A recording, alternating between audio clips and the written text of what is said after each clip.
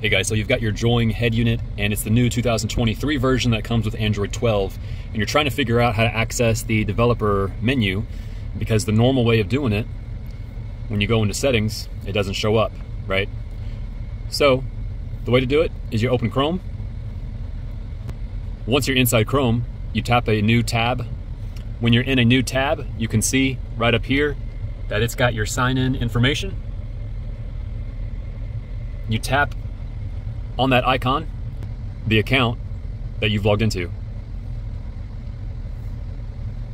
Once you're inside this menu, tap back, and now you are able click on about phone. You will come down here to where it says build number and you will tap on build number. You are now a developer. Now you can see developer options in the system setting. And now in developer options, you can access all the developer menus that you'd like to select.